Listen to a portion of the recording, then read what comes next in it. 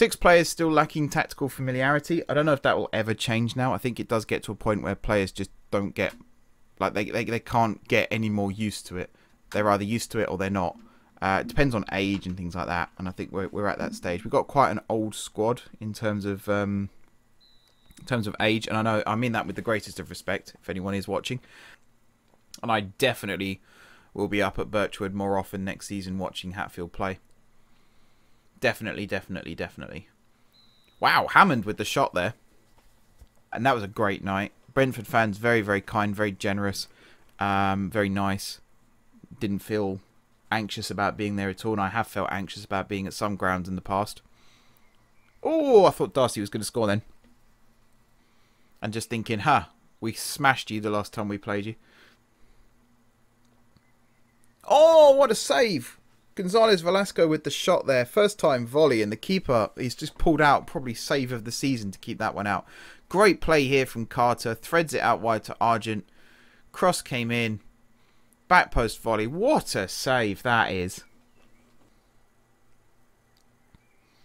Hammond with the ball. Gonzalez Velasco's header. Another great save there from the goalkeeper. Was it Gregory? Yeah, another great save from Gregory there. That was a certain goal. And Hudson Doncaster whips it back post. A header again, and this time it is in, and it is Darcy Hollis with his first goal of the season. Great bullet header. First goal for the club as well. I'm not sure if that's true, actually. I'm sure he scored in the cup last season, but there we go. Hudson Doncaster's ball in. Meets it at the back post. Gregory did get hands to it, but spilled it. So he's let himself down a little bit there. So yeah, you score one goal and suddenly you think you're um uh quick name a midfielder who scored from distance. Matt Taylor. God, I've gone back some years there. Studholme with the goal. I went like 12 years ago then, Matt Taylor's goals. Great finish there from uh from Wait, who scored? It was Studholme, wasn't it? Yeah, Baker with the flick on, Studholme with the finish. Sorry, the ball wasn't next to his name there, so I forgot who it was. Oh, yeah, Studholme. Good finish. First goal in a while, I think, from him as well. So happy to see his name on the uh, the score sheet again. That one nearly went out of play there from Studholme. Argent keeping it in, whipping it in. Baker's header over the top. That would have been a very, very nicely taken goal had that gone in. Just to change things up a bit, make us a little less predictable. You'll be amazed how subtle differences can still make a huge difference. Hot! Oh! Hudson Doncaster. I nearly called him Harker then. Baker back to Carter was what I was trying to say. Hudson Doncaster with an absolute thunderbolt of a, of a shot there into the top corner.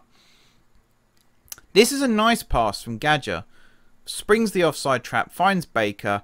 He went for the low cross there, I'm not sure why. Then he pulls it back to Carter, who slams it past Gregory into that top corner. A beautiful finish. And that is 3-0. And yes, I would like to confirm the tactical change still. Well, excuse me yawning. I had a really early start for some reason this morning. I have no idea why.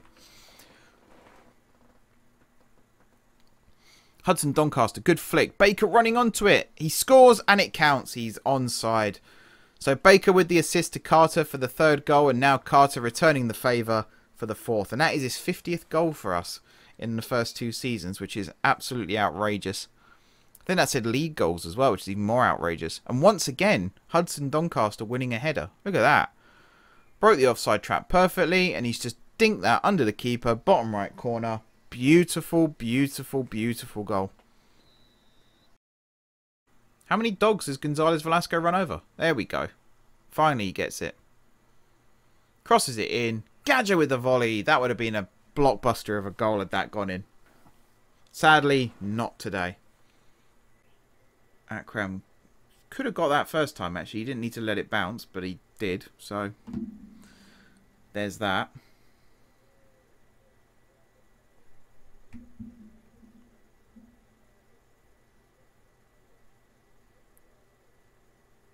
Argent then with a good cross. Very good cross. And there's the goal from Afsar. Slid in. Middle of the goal there to score. That kind of came out of nowhere. I thought the defender was going to clear that then. Let's see a replay of this. Argent with the throw to Akram. Back to Argent. Crosses it in. Look at that. He's just waiting for it. Abioyi with the... Uh, Why can't I say his name? Abioyi. Abioyi with the missed header.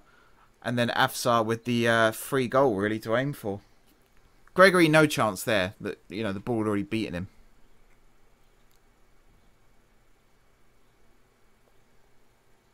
Is Hollis going to get there? He's not. And that's one back. Harpenden with the goal back. Nick Davey there. That's a very cheeky finish from him. Outside of his right foot by the looks of it. Stafford with the header. Davey running onto it.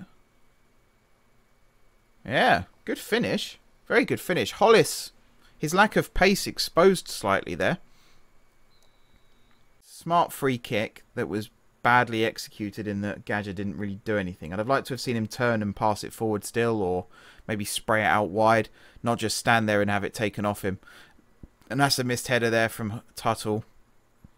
Mm, Alves through, all side netting.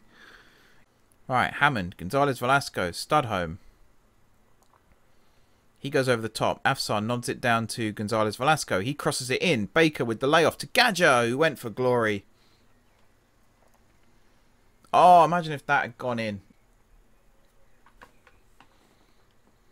That's a good ball over the top. Simmons running onto it. He's got a shooting opportunity. Ah, oh, he was offside. He does score, but I think Extents left that because the flag went up.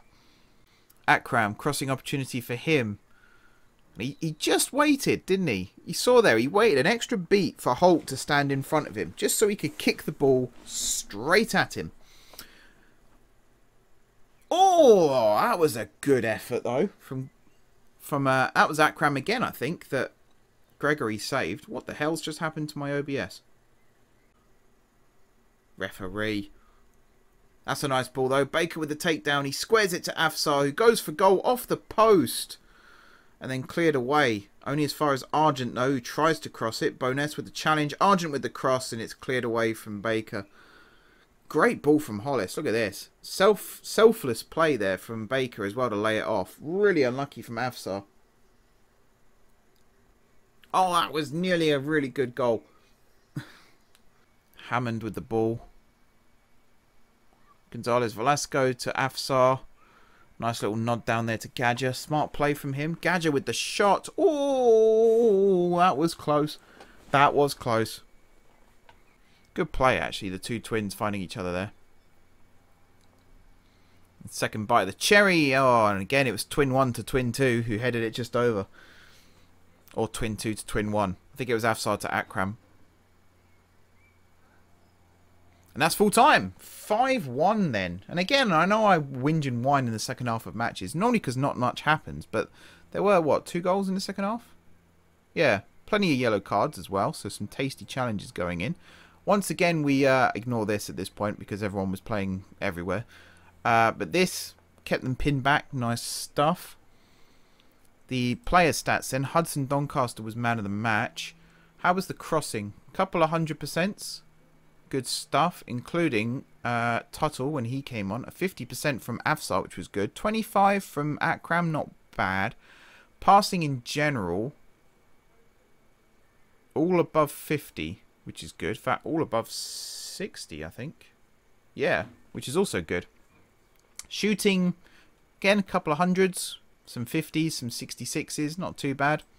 Overall, then, pretty good game. Pretty happy with the overall performances. I keep saying the word overall now. Happy uh, in general with the performances. We did some good stuff there.